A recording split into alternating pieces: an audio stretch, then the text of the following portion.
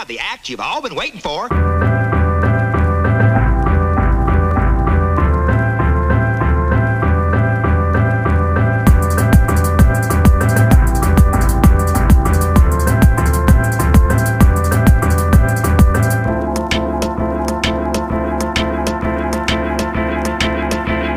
Subject for today, we can be the